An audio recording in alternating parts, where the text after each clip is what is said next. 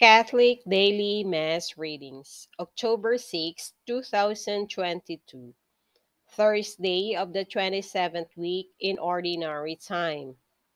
A reading from the letter of St. Paul to the Galatians.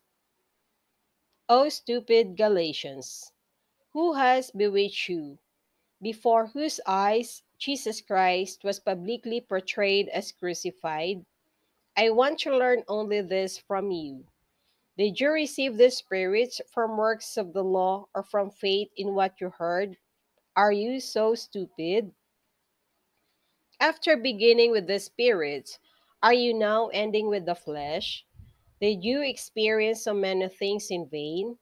If indeed it was in vain. Thus then, the one who supplies the Spirit to you and works mighty deeds among you, though so from works of the law, or from faith in what you heard. The word of the Lord. Thanks be to God. Responsorial Psalm, let our response be Blessed be the Lord, the God of Israel. He has come to his people. He has raised up for us mighty Savior, born of the house of his servant David. Blessed be the Lord, the God of Israel. He has come to his people. Through his holy prophets, he promised of old that he would save us from our enemies, from the hands of all who hate us. Blessed be the Lord, the God of Israel. He has come to his people. He promised to show mercy to our fathers and to remember his holy covenant. Blessed be the Lord, the God of Israel. He has come to his people. This was the oath he swore to our father Abraham to set us free from the hands of our enemies, free to worship him without fear, holy and righteous in his sight all the days of our life. Blessed be the Lord, the God of Israel. He has come to his people.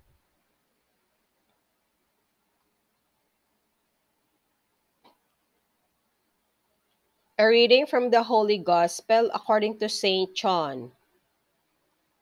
Jesus said to his disciples, Suppose one of you has a friend to whom he goes at midnight and says, Friend, Lend me three loaves of bread, for a friend of mine has arrived at my house from a journey, and I have nothing to offer him.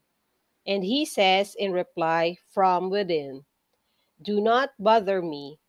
The door has already been locked, and my children and I are already in bed. I cannot get up to give you anything. I tell you, if he does not get up to give him the loaves because of their friendship, he will get up to give him whatever he needs because of his persistence. And I tell you, ask and you will receive, seek and you will find, knock and the door will be opened to you. For everyone who asks receives, and the one who seeks finds and to the one who knocks, the door will be opened. What father among you would hand his son a snake when he asks for a fish? Or hand him a scorpion when he asks for an egg? If you then, who are wicked, know how to give good gifts to your children, how much more will the Father in heaven give the Holy Spirit to those who ask him? The Gospel of the Lord. Praise to you, Lord Jesus Christ.